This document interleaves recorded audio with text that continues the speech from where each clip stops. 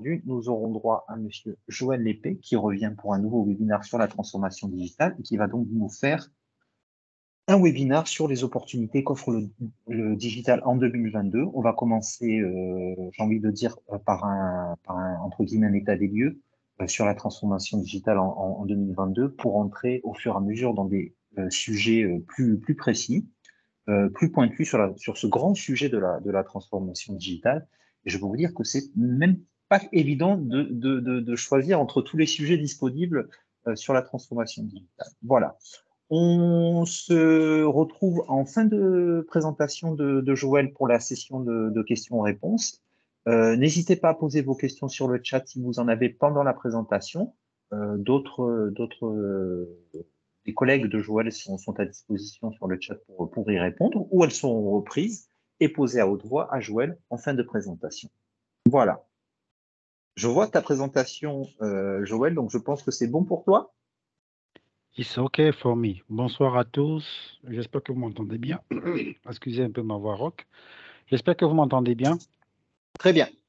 Super. Très clair. Merci. Bonsoir à tous. Et euh, ça, fait, ça fait un moment, je ne m'étais pas prêté à un exercice de webinaire euh, avec beaucoup de monde. Euh, c'est toujours un plaisir de, partager avec vous un certain nombre de sujets, sur un certain nombre de sujets. Je pense que le dernier que j'avais fait, c'était sur la cybersécurité. Donc là, c'est le mois de la transformation digitale, euh, un sujet que je pilote pour euh, ST Digital en plus de mes autres fonctions. Donc euh, ce mois-ci, que ce soit dans un webinaire ouvert à tout le monde, que ce soit dans les webinaires en one-to-one, du moins inter-entreprise ou dans différentes réunions, je serai plus présent sur le terrain sur ce sujet. Donc ce, ce sujet de, du digital, digitalisation, euh, on parle beaucoup de numérique, donc la digitalisation des entreprises euh, depuis euh, deux ans déjà s'est énormément accélérée en termes de, collaboration, en termes de travail à distance, télétravail. donc il y a un certain nombre de choses qui ont été accélérées tant que vaille à cause du Covid. Donc il est très important de, de comprendre et de savoir de quoi on parle et surtout en 2022 sur quoi est-ce qu'il faut travailler sur ce sujet du digital. D'accord? Parce que on, le mélange avec euh, d'autres choses, euh, mais il est important de revenir sur euh, les fondamentaux. Donc, on, va faire, on va pas faire de, de longs discours. Hein. J'aimerais que ce soit interactif. Donc, soit vous mettez les questions dans le chat, soit vous les, gardez pour la fin. On va d'abord repositionner c'est quoi le digital, parce qu'on parle beaucoup de digital. Ensuite, je vais vous parler de nos convictions. Euh, Jean-Philippe l'a dit, ST Digital est une entreprise dont le nom et l'essence même, c'est le digital, solution de transformation digitale. Donc, je vais vous parler de nos convictions sur la transformation digitale et pourquoi est-ce qu'il faut, il faut s'y lancer et l'opportunité, le thème de ce, de ce webinaire, ce premier webinaire d'un cycle de quatre euh, tout au long du mois d'avril, l'opportunité digitale, la transformation digitale. Et puis, je vais tordre le cou à quelques, à quelques comment, comment je pourrais dire ça, à quelques légendes. Hein, on parle de ça comme ça. J'appelais ça des constats sur la transformation digitale parce que c'est très important de savoir ce que le digital ce qu'on prête au digital et qui n'est pas vrai. Voilà, on va dire ça comme ça. Et enfin, je vais vous parler d'une initiative que, que nous profitons du mois de, la transformation digitale à ST Digital pour euh, mettre en branle qui, euh, qui est de, de, de, vous aider à amorcer la transformation digitale. Vous savez, euh, Anthony a souvent l'habitude de prendre l'image de, comment manger un éléphant. Donc, il faut commencer par les petits bouts, la stratégie des petits cailloux. Donc, on, va, on, a une, on lance une initiative pour que vous soyez en train de bouger les petits cailloux ou de manger, euh, de disséquer l'éléphant. Donc, c'est quoi le digital?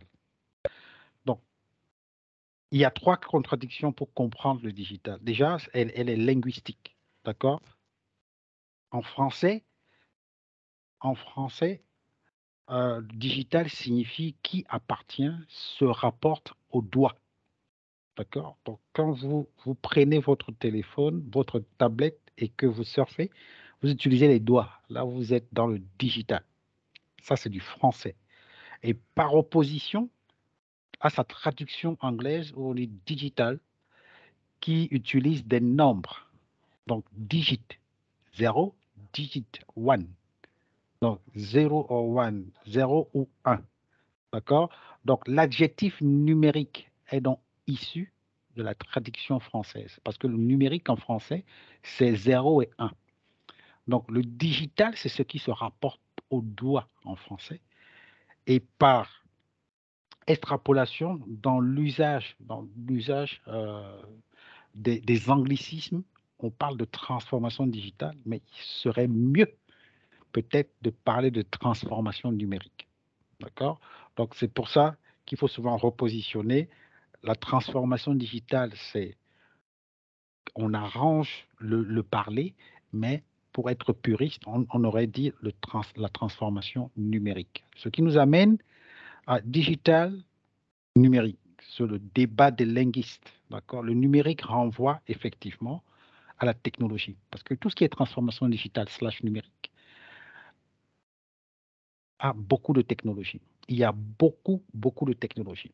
Et on utilise la transformation digitale parce que il y a euh, une appétence à l'usage. Il y a une appétence à l'humain.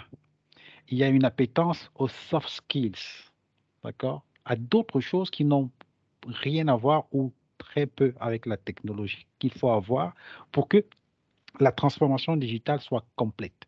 Et c'est pour ça qu'on parle de digital euh, en empruntant le terme anglais euh, pour digit, pour dire numérique. D'accord Donc, il y a, en français, il y a le numérique, donc on peut dire transformation numérique. En anglais, on dit digital transformation, et là, on est vraiment dans le numérique. Euh, c'est une affaire de technologie, d'accord Mais c'est aussi une affaire de pratique, donc d'usage, d'utilisation. Donc les technologies passent, euh, les usages et les besoins humains demeurent. Il faut envisager le digital comme un mouvement général de transformation. il y a une corrélation qu'on peut faire ou une analogie où on dit euh, c'est un processus d'amélioration continue de la société qui englobe, ou alors des organisations qui englobent une culture spécifique, slash agile, d'accord, slash soft skills, qui englobe des usages, manière de travailler, on parle de collaboration, on parle de UC, et surtout de technologie. D'accord Donc, il y a, je voulu présenter ces trois contradictions pour que vous ayez, pour que vous les ayez en tête lorsqu'on parle de digital ou alors est-ce qu'on parle de numérique. Mais en entreprise ou dans les organisations, il y a une autre approche encore, c'est la 3D. D'accord? Le digital interne. Donc le numérique interne, c'est l'impact des technologies sur les collaborateurs, sur l'organisation et sur les processus. Parce que quand vous allez voir euh, quand, du moins dans les projets de transformation digitale, vous voyez souvent un impact sur l'excellence euh, opérationnelle. Là, c'est l'organisation et les processus. Vous avez un impact sur le business model qui peut être transformé par l'utilisation des technologies à un certain nombre d'usages et une certaine organisation. Et vous avez l'expérience client sur comment on adresse le client. D'accord? Et surtout, pour faire tout ça, il faut que les collaborateurs aient des outils il faut que les collaborateurs aient des postures, il faut que les collaborateurs intègrent des usages pour pouvoir délivrer cette promesse. Donc, c'est ça le digital interne. Donc, c'est celui qui adresse. Donc, en gros, c'est l'informatique interne. À l'époque, on appelait ça l'informatique interne. C'est les collaborateurs, l'organisation, donc l'entreprise, dans sa manière de fonctionner, et les processus opérationnels. Ensuite, vous avez le digital central. Le digital central, c'est en gros, le cœur, ce qu'on appelle le cœur du métier. C'est comment on interagit avec son écosystème, comment on interagit avec ses partenaires. Donc, c'est le côté gauche pour ceux qui connaissent le business model canvas, par exemple. C'est celui-là qui permet d'avoir des API avec les, les, autres pour pouvoir déclencher une commande, pour pouvoir déclencher une livraison ce genre de choses. C'est ce digital en entreprise. Et enfin, il y a ce que beaucoup de gens comprennent comme étant digital, entre guillemets, slash communication marketing digital, c'est la présence et la visibilité d'une entreprise sur les réseaux. Est-ce que je suis sur Facebook, Twitter, Instagram, ainsi de suite? Est-ce que j'ai besoin d'y être? Il faut se poser la question comment je gère ma communication externe dans, dans un monde où on voit apparaître des métaverses, on va parler un certain nombre de choses. D'accord? Donc, vous avez un digital orienté interne, un opérationnel fixé sur le métier l'écosystème, c'est le central, et un digital, pardon, et un digital externe qui, lui, euh, implique plutôt ce que nous faisons hors de l'entreprise. D'accord? Donc, quand on a posé ce sujet, quelles sont dans nos convictions, nous, en tant que, euh, je ne veux pas dire expert, mais en tant que entreprise qui a basé sa stratégie sur euh, tout ce qui est digital, là, nos convictions, elles sont toutes simples. C'est que on a vu apparaître un certain nombre de choses et ces choses sont apparues à travers le digital. Les premières, la première, c'est l'instantanéité. Aujourd'hui, euh, je, vois les utilisateurs en entreprise qui disent ah, la commande n'est pas encore arrivée, le réseau est lent. C'est ça en fait. C'est parce qu'il y a de l'instantanéité, euh, il y a de la personnalisation. J'ai une manière de travailler, j'organise mon bureau d'une certaine manière. Euh, il y a de l'authenticité des besoins d'authenticité, de fluidité d'usage. Euh, j'ai un smartphone, il est super rapide. Pardon? Vous pouvez fermer votre micro. Je ne sais pas qui a ouvert son micro. Merci. Jean-Philippe, tu peux fermer les micros qui sont ouverts, s'il te plaît. Merci. Donc, il y a ce besoin de transversalité qui entraîne des nouveaux comportements individuels des nouvelles technologies. J'ai parlé de métavers tout à l'heure. Ça apparaît comme étant, tout ça apparaît étant comme des menaces, mais aussi énormément d'opportunités. Et ce qui m'amène à vous dire, c'est quoi une entreprise digitale? Parce qu'on parle des opportunités des digitales. Qu'est-ce qui est considéré comme étant une entreprise digitale? Deux choses. Donc, la première, une entreprise est digitale si elle est perçue par ses clients, nous, comme étant digital. Et là, ça doit vous faire tilt. D'accord? Ça vous amène deux choses. La première, c'est le digital externe qu'on a vu tout à l'heure. Pour dire comment est-ce que les entreprises me voient. Du moins, mes clients en tant qu'entreprise me voient. Je pense par exemple à la signature électronique. Hein. Je pense par exemple à les sites web, à les applications mobiles, à la présence sur les réseaux sociaux. Est-ce que j'ai une stratégie omnicanal ou multicanal? Est-ce que je fais de la géo ou de la micro-localisation? Est-ce que j'ai des robots qui permettent de répondre à un certain nombre de questions sur la partie, par exemple, helpdesk automatique sur le site web? Donc, comment est-ce que mes entreprises, pardon, mes clients me voient en tant qu'entreprise? D'accord? Ou est-ce que j'ai un portail fournisseur? Où mes fournisseurs peuvent venir déposer leurs offres, où je peux déposer les termes de référence des appels d'offres. Ils déposent complètement de manière dématérialisée, paperless. Je récupère, j'analyse et je donne les résultats sur la plateforme en temps et en heure. Chacun peut voir comment évolue. Ça, mes clients, est-ce qu'ils peuvent voir ça? D'accord? Ça, c'est la perception par rapport à une entreprise digitale. Ensuite, vous avez la perception qui est plutôt le vécu interne, donc l'expérience collaborateurs. Comment nos collaborateurs travaillent? Est-ce qu'ils ont les équipements? Est-ce qu'ils ont les interfaces? Est-ce qu'ils ont les bonnes technologies? Je pense au cloud, je pense à la collaboration, à la dématérialisation, à la JET. Une entreprise se dit digitale. Déjà, il y a un certain nombre de, pas de prérequis, mais plutôt de facteurs, de leviers d'instantanéité l'influence environnementale, du moins la pression, euh, les nouvelles technologies, la fluidité d'usage, la transversalité, et derrière, comment est-ce que mes clients me perçoivent, mais aussi comment vivent mes employés? Ou mes staffs, si je peux le dire comme ça. Du coup, le digital devient une opportunité. Le digital, l'opportunité digitale, c'est d'abord l'opportunité interne. Sur le continent africain, on a une grosse croissance sur le web.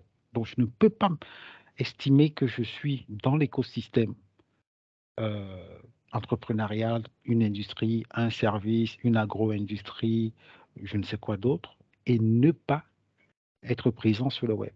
Il y a 453 millions d'Africains qui sont des internautes et il y a de la marge. Dans trois ans, ce sera 600 millions. Il y a 220 millions environ qui sont sur les réseaux sociaux. Un milliard qui ont un téléphone mobile. Taux de pénétration du mobile, le digital, le fameux digital, 81%. Des câbles sous-marins à profusion.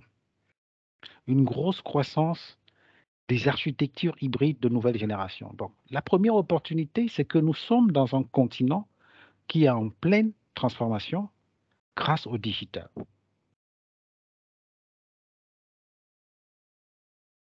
Premier point. Ensuite, l'opportunité digitale, j'en ai parlé tout à l'heure, de gestion opérationnelle, de modèle économique, d'expérience client, c'est les grands mots. Nos entreprises, nous, nos entreprises ont besoin d'être efficientes, donc en termes de gestion opérationnelle, comment on gère les ressources humaines, comment on gère la productivité, la performance.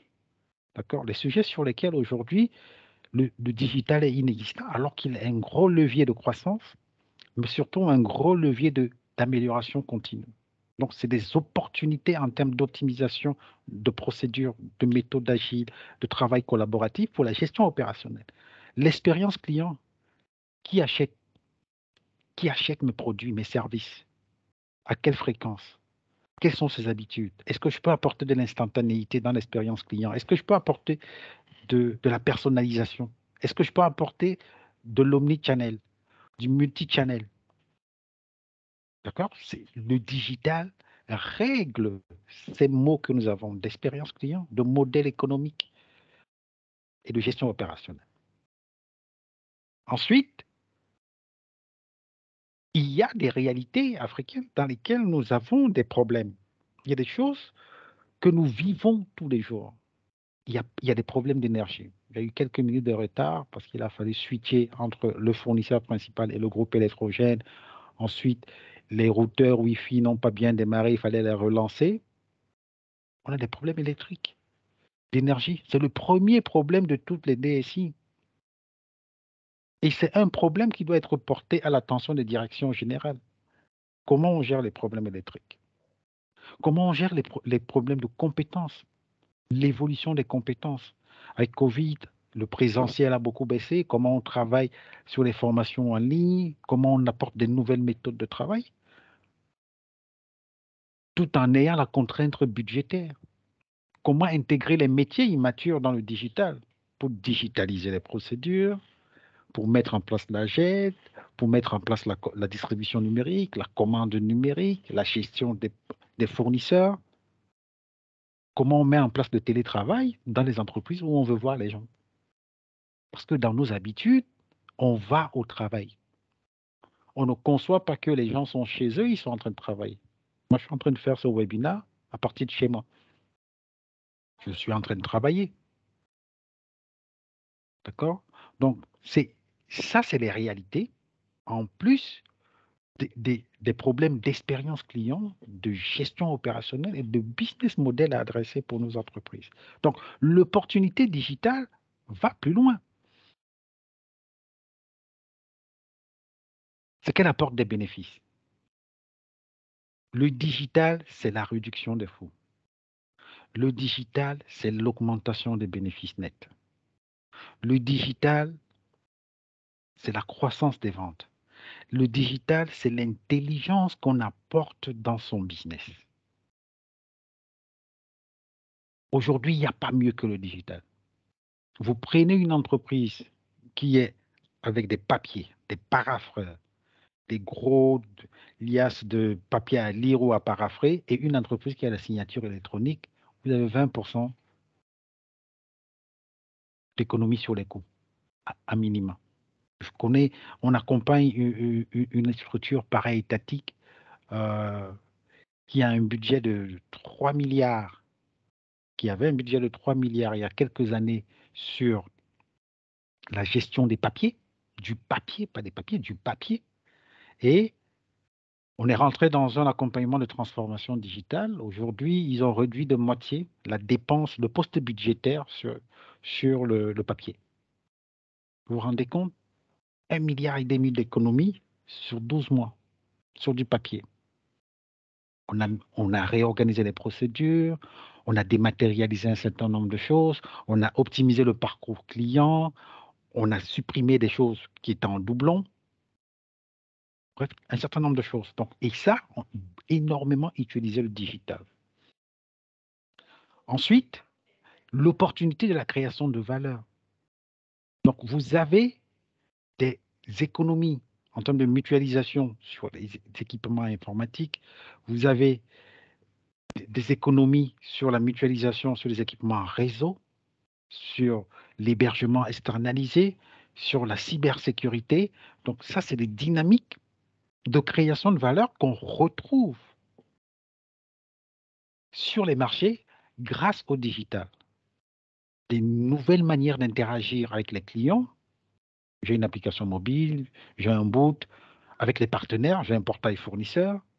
J'optimise et je pilote à travers des choses comme un ERP. Ça, c'est le digital. Mon efficacité opérationnelle de tout sécuriser. Donc, une opportunité en termes de gains, de bénéfices, notamment en termes, énormément en termes de gains. Ensuite, une opportunité en termes de création de valeur. Donc, ceci dit, j'économise et je crée de la valeur, donc j'augmente des bénéfices. Mais sur quoi est-ce qu'il faut investir? D'accord? Et en 2022, il y a des chantiers sur lesquels il ne faut pas lésiner. Le premier, c'est la cybersécurité. Le premier chantier, c'est la cybersécurité. Le second, c'est les applicatifs, qui sont un prolongement de la transformation digitale. Le troisième, c'est la modernisation du poste de travail. Les postes de travail ont énormément évolué, s'il vous plaît, depuis l'époque de Windows XP. Les postes de travail ont énormément évolué. Et aujourd'hui, le poste de travail est itinérant. Le profil utilisateur est itinérant. Je commence un call Teams sur mon laptop, je le continue sur mon téléphone, je peux le reprendre sur ma tablette. Ça, c'est le workplace. Ce qui permet de le faire, c'est des architectures hybrides. Évidemment, on n'oublie pas l'humain. Nos entreprises tournent grâce aux hommes.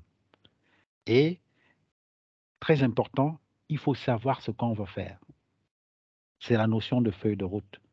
On va essayer de, la détailler tout à l'heure. Donc, en cybersécurité, le, rôle très important des RSSI, si vous n'en avez pas, essayez de créer une position ou alors une responsabilité autour du sujet. N'oubliez pas de sensibiliser les utilisateurs.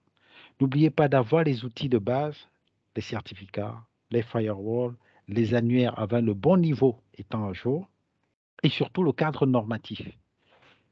Utile, 27 000 ISO, ainsi de suite. Très important.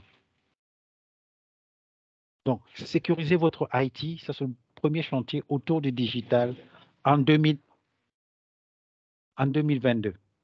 Sécurité votre IT, sécuriser plutôt votre IT. Le deuxième, c'est l'excellence opérationnelle, donc la gestion opérationnelle. Et là, je vous recommande d'avoir un référentiel unique. Le référentiel unique est partagé, c'est l'ERP. Ou alors ce qui fait office ou ce qui s'y rapproche. D'accord? Comment je fais pour avoir une donnée unique? Lorsqu'elle est saisie, est-ce qu'elle est bonne? Est-ce qu'elle est cohérente? Est-ce que je peux tracer et je peux la suivre en temps réel? Logistique, d'IMO, d'achat, de compta anal, gestion budgétaire, de la relation client, la même donnée peut bouger sur tous ces éléments que je viens de citer. Donc, business apps, très très important en termes de chantier digital sur 2022. Ensuite, j'en ai parlé, le Modern Workplace, qui concerne vos collaborateurs. Si vous avez encore des Windows XP ou des, premiers Windows 10, on est déjà en Windows 11, Windows Server 2000 19 est déjà sorti. Bientôt, on attend, je crois qu'on est déjà en bêta Windows Server 2022. Bref, ça évolue. Est-ce que votre infrastructure évolue avec euh, vos collaborateurs? Du moins, est-ce que vos collaborateurs et, votre, infrastructure évoluent Donc, chantier très important dans le digital en 2022, le, le Modern Workplace. Ensuite, tout ça ne peut pas se faire sans les hommes. Ça évolue tellement qu'il faut mettre en place une culture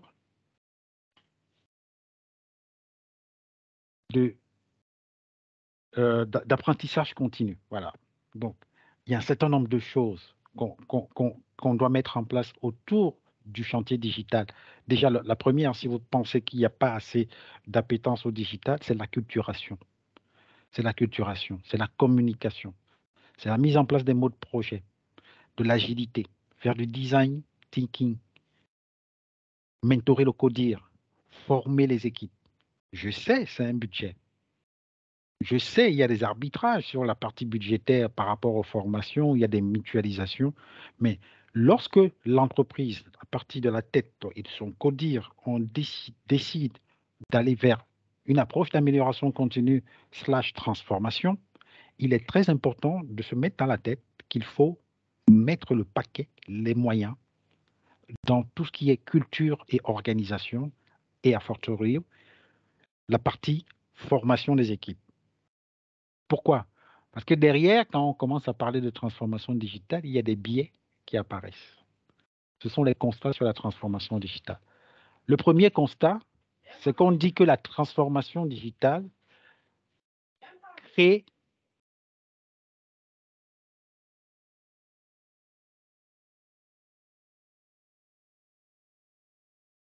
La transformation digitale, est-ce qu'elle crée ou elle détruit les emplois? Quel est le solde? Une chose est sûre, euh, c'est que la le digital ne détruit pas vraiment les emplois. Le digital permet d'émanciper l'humain par rapport au travail. Donc, en gros, lorsqu'on utilise le digital en entreprise, on est un employé augmenté un salarié augmenté. Ce n'est pas de manière pécuniaire, mais avec les compétences qu'on a les compétences qu'on utilise.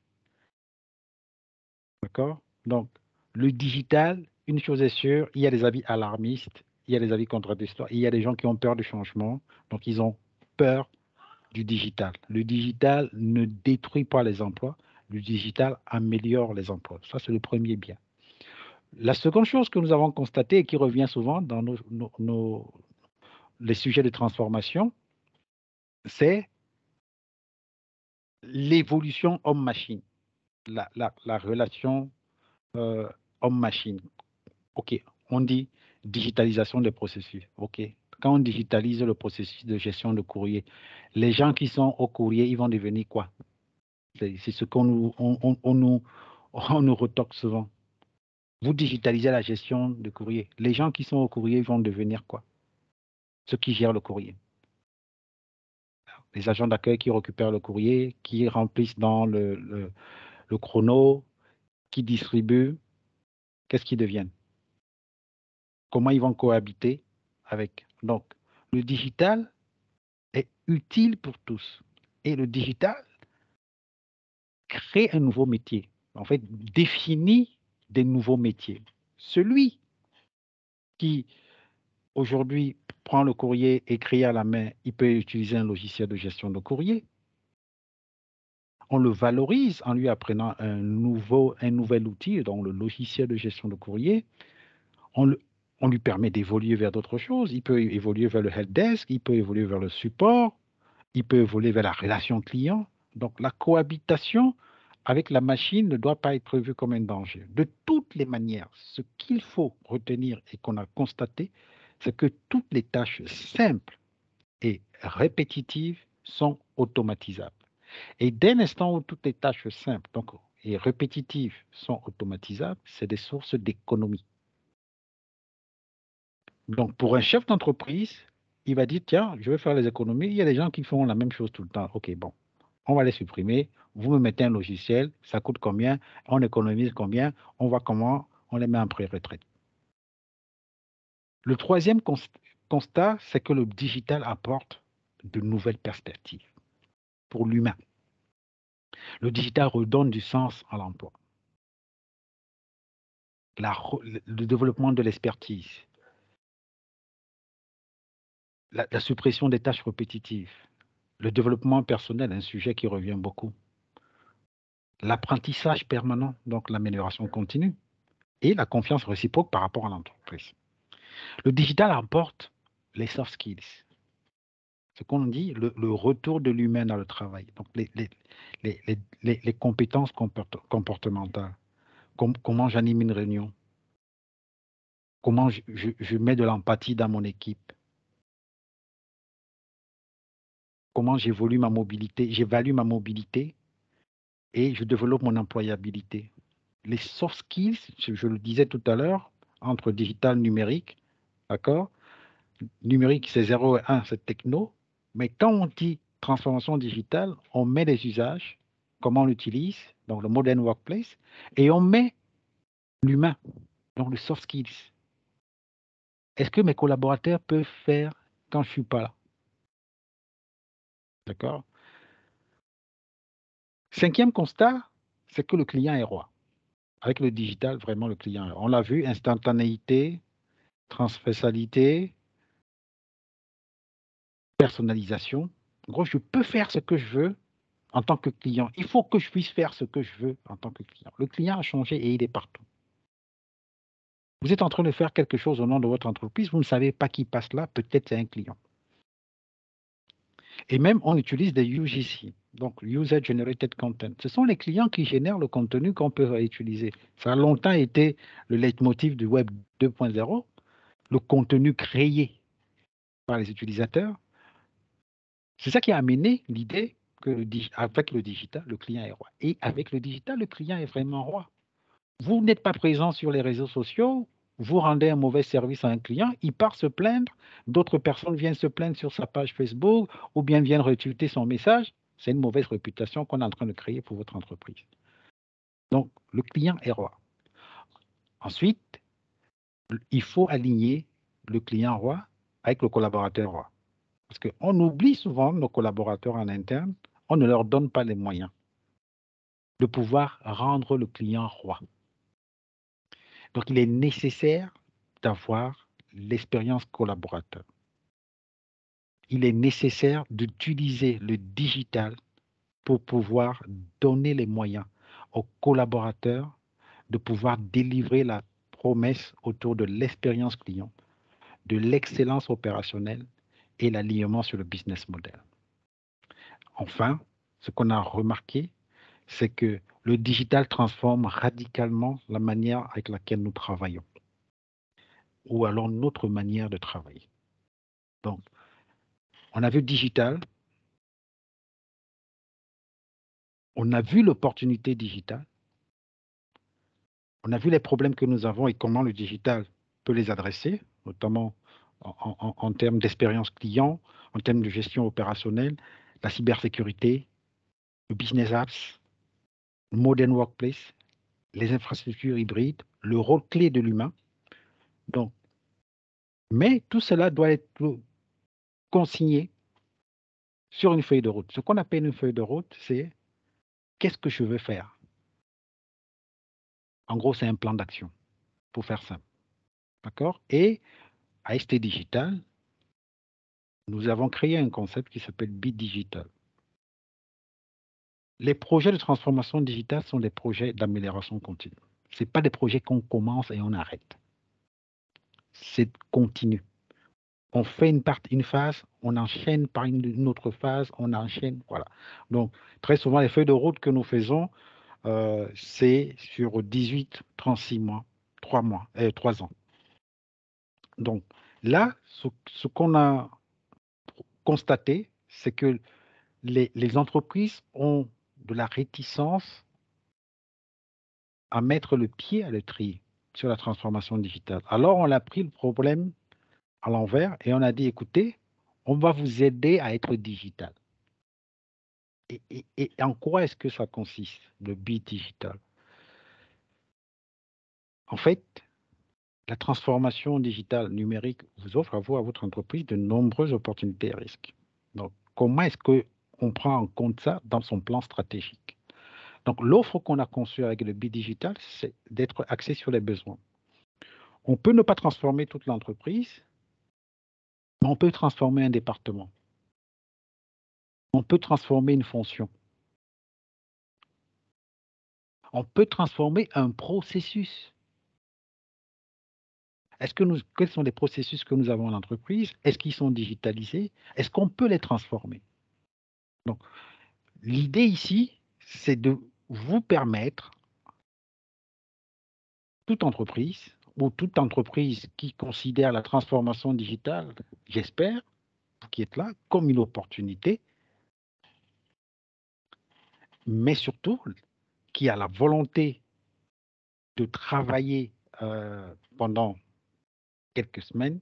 On a mis trois mois, hein, ça c'est en fonction euh, de la maturité de, chacune des entreprises. Euh, on peut le faire en deux mois, on peut le faire en six semaines, voilà. D'avoir du coaching individuel pour les personnes qui vont piloter ce projet et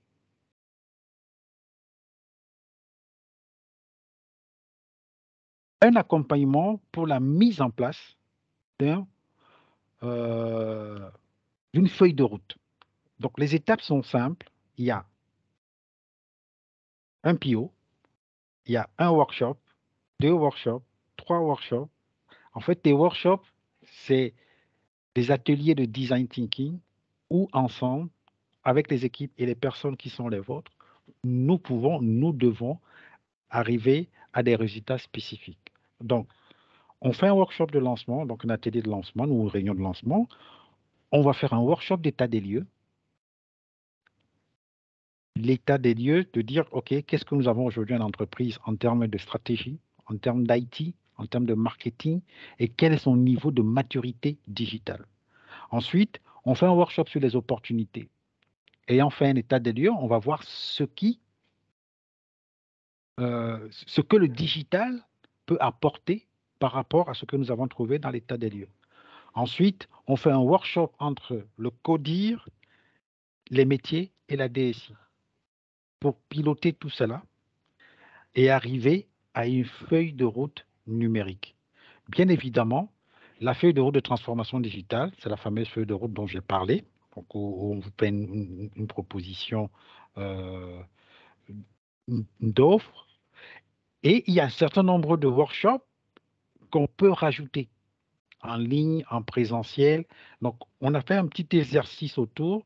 Donc, il y a des workshops sur la production, sur l'industrie, ça c'est des exemples. Il y a plein d'autres choses qu'on peut faire en termes de workshop.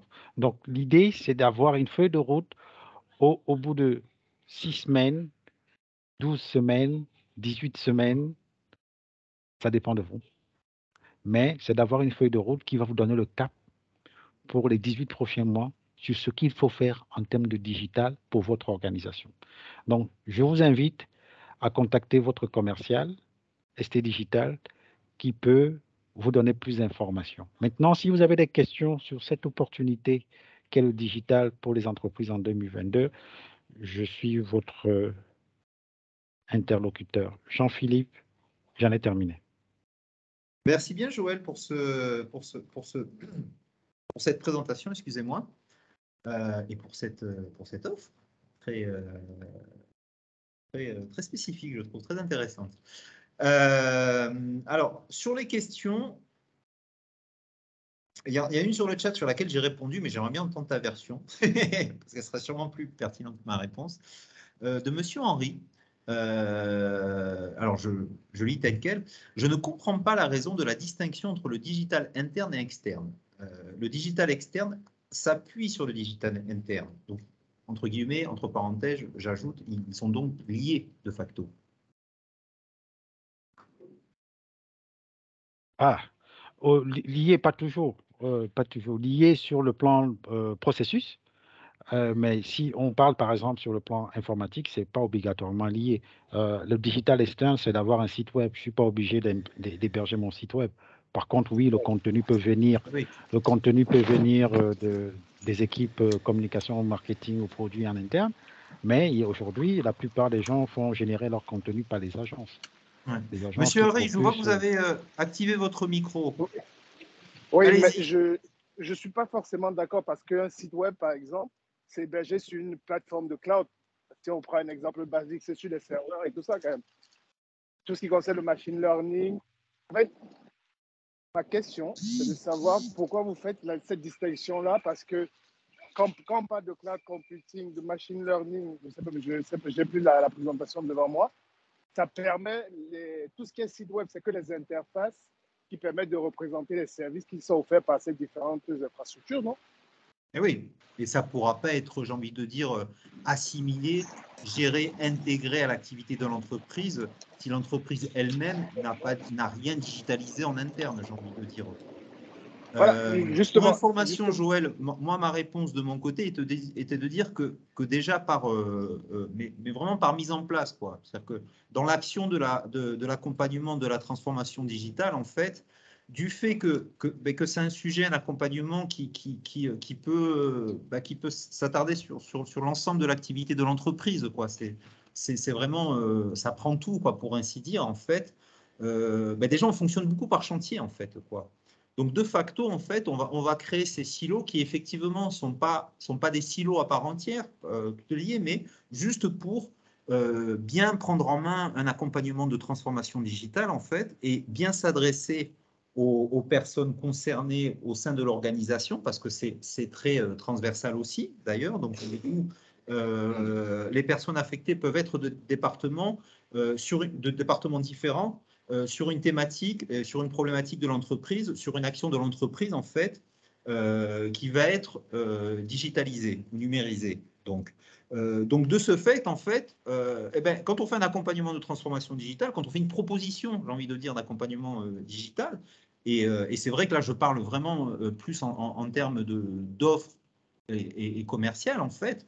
On a tendance à créer euh, ces différents chantiers et donc à, segmenter les choses, en fait, parce que sinon, ben, effectivement, ça, ça, ça c'est tellement vaste que on part dans tous les sens, entre guillemets, et, pour ainsi dire. Quoi. Mais bon, je reste quand même que euh, effectivement, l'un aura une répercussion et, sera lié euh, à l'autre, c'est sûr. Euh, malgré que, comme l'a dit Joël, effectivement, certaines choses peuvent, être, peuvent avoir un peu ce, caractère un peu, un peu indépendant.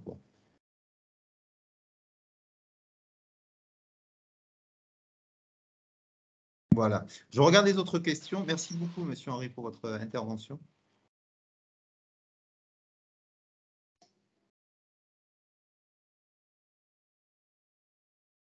Oui, voilà, il y avait une, question, une autre question de, de Monsieur Ndoum Maxime, euh, auquel je n'ai pas voulu répondre. L'apparition du Covid-19 a-t-il accéléré la transformation digitale au sein des entreprises africaines? J'entends ici, par entreprises africaines, les entreprises qui sont détenues par des nationaux et non par une présence sous-régionale ou internationale. Effectivement.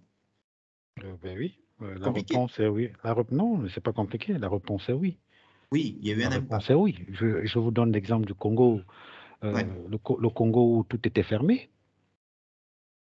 Le Gabon où il y a, il y a eu un couvre-feu, je crois, pendant plus d'un an et demi, euh, que vous soyez multinational ou, euh, ou, sous-régional ou entreprise, entreprise détenue ou capitaux entièrement détenus par les locaux. Euh, tout, le monde s'est mis au télétravail. Mmh. Beaucoup ont acheté les ordinateurs, beaucoup ont activé des VPN, euh, beaucoup ont mis en place la gestion électronique de documents, beaucoup ont mis du le, travail à distance et l'utilisation des outils de Unified Communication. Oui, tout le monde a été impacté. Ça, et, notamment pour les entreprises qui étaient réticentes, il y a eu une grosse accélération de, la transformation digitale de cette dernière, oui. Mais alors, moi, pour, euh, hein, la nuance, hein, euh, j'ai trouvé quand même que ça dépendait beaucoup C'est ça qui me. Effectivement, oui, dans l'absolu, oui. Effectivement, parce que le choix n'était pas possible, euh, comme tu l'as très bien, expliqué. Mais même dans ce cas très, local, je, trouve que la, culture d'entreprise et la politique des, entreprises a, beaucoup joué. Et là, peut-être qu'effectivement, le, le la communication, j'ai envie de dire, euh, la collaboration. On n'a pas eu trop le choix parce que ben, vous ne pouvez plus être au bureau. Donc ben, là, les outils ben, comme, Teams là qu'on utilise euh, sont, de facto euh, nécessaires, ont été pris. Mais on voit tout de suite que voilà, il, y en a qui sont qui avaient vraiment une, une, culture d'entreprise, une politique dans l'entreprise qui a fait qu'ils sont allés un peu plus loin que d'autres, alors que d'autres étaient un peu, un peu plus frileux, effectivement. Mais effectivement, dans l'absolu, Joël, euh, le, le, résultat, oui, l'accélération est à, est, à, est à constater. Et, effectivement, parce que moi, ma question faisait suite à, faisait suite à la présentation, à votre, au début de votre présentation, surtout sur, euh, sur les habitudes, sur les, les, pratiques en termes d'entreprise locale qui, qui, parfois ne sont pas prêts euh, à investir effectivement sur cette transformation digitale-là et, et ne comprennent pas toujours l'enjeu ou alors se disent comme tout ce que vous avez évoqué en termes de suppression d'emplois, en termes de, de coûts. Mais bon, on ne parvient pas toujours à évaluer, à évaluer le coût de la digitalisation par rapport euh, au, au, coût euh, de, de, de, rester, je, je, vais dire, traditionnel ou alors archaïque, si, mmh. si le mot est, est bien choisi. Quoi. Donc, c'était un peu dans ce sens-là, oui. on, va plutôt dire old school. Voilà. voilà. Le secteur, Donc, en, fait, d'activité aussi, pour, évidemment. C'est pour ça qu'on a, pour ça qu'on a monté cette offre, en fait, pour accompagner euh, les, entreprises réticentes en leur montrant, j'ai dit tout à l'heure, la création de la valeur. Parce que souvent, on, on, on, dit, OK, on va faire la transformation digitale. Oui, mais bon, ça rapporte quoi? On fait ça sur quoi? Par contre, si on dit, vous allez économiser 10% de votre budget d'investissement euh, du, CAPEX ou de l'OPEX, notamment de l'OPEX, euh, sur tel ou tel sujet, là, les décideurs, ils écoutent. D'accord? Ça dépend de la manière avec laquelle on aborde le sujet. Là, le décideur, il écoute. Ensuite, on dit, écoutez, euh, pour ça, il faut commencer par telle chose. Sur telle chose, il faut faire telle chose. Voilà. Donc, il y a cette pédagogie il y a cette acculturation, il y a cet accompagnement day to day avec les équipes projet, avec le comité de direction, le reporting régulier. C'est pour ça qu'on dit en 60 jours de vous permettre d'avoir des résultats avec une feuille de route claire. D'accord? Bi-digital. C'est ça l'idée. Donc, ces réticences-là, on les lève à force de les, anglais, les, pas les, les, anglophones ont un terme qu'ils utilisent, ils appellent ça l'évangélisation. Donc, c'est-à-dire de, faire, entre guillemets, si on prend un terme commercial, de la vente-vente. Donc, c'est un peu, un peu l'idée du truc. Euh, il ne faut pas arrêter d'expliquer. il ne faut pas arrêter de montrer des bénéfices. Il ne faut pas arrêter de montrer des exemples et des benchmarks.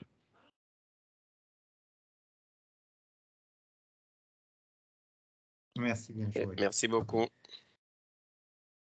À vous, monsieur. Merci pour votre participation. Alors, euh, je crois qu'on est bon sur le chat. On avait quand même une petite euh, demande de monsieur Ngassa qui voulait savoir si la présentation sera à disposition des, assistants. Je ne me prononce pas là-dessus sans vérifier avec toi. J'ai pas, j'ai pas compris, Jean-Philippe. La question, c'est. Est-ce que, est-ce que, est-ce que les, les, euh, les, invités pourront recevoir ta présentation après? Euh, oui, elle sera un peu, juste un peu nettoyée sur certains sujets, oui. Mais, voilà, exactement. Pourquoi je, je, ne réponds pas oui directement. D'accord. Je, une fois que ce sera fait, Monsieur Ngassa, je récupérerai votre email sur l'inscription pour vous l'envoyer. A-t-on d'autres questions, s'il vous plaît? Je vous invite à ouvrir votre micro, à intervenir, à lever la main en, en amont.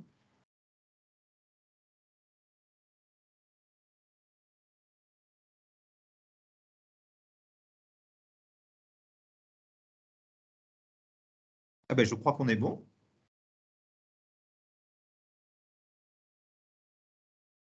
Ok Jean-Philippe, merci. Euh, et surtout, euh, n'hésitez pas à être digital. Donc, euh, Bit Digital, on, vous enverra la plaquette détaillée de, l'offre de service. et n'hésitez pas à contacter votre, votre commercial ST Digital. C'est très simple, hein, ST Digital. Hein, c'est prénom.st.digital. Donc, ou alors vous allez sur info st.digital. Euh, voilà. Merci Jean-Philippe et à la semaine prochaine. Oui, à la semaine prochaine donc pour un nouveau webinaire sur la transformation digitale. Vous recevrez les invitations en début de semaine. Euh, et l'information sera bien évidemment sur nos réseaux sociaux. Je vous mets à disposition notre mail info.stdigital pour toutes vos demandes. Euh, n'oubliez pas que euh, la présentation, c'est bien, mais que des, rendez-vous avec nos consultants de la transformation digitale sont organisés de manière régulière chez nos clients, auprès de, services, auprès de, de directions générales. Euh, et j'ai envie de dire, c'est encore plus profitable pour euh, mener à bien un accompagnement, enfin pour faire passer euh, un accompagnement de transformation digitale au sein de, votre entreprise. Il n'y a pas mieux. Franchement, il n'y a pas mieux. Voilà. merci à tous d'avoir assisté. Encore merci Joël pour cette magnifique présentation. Et bonne soirée à tous. Merci Patrick.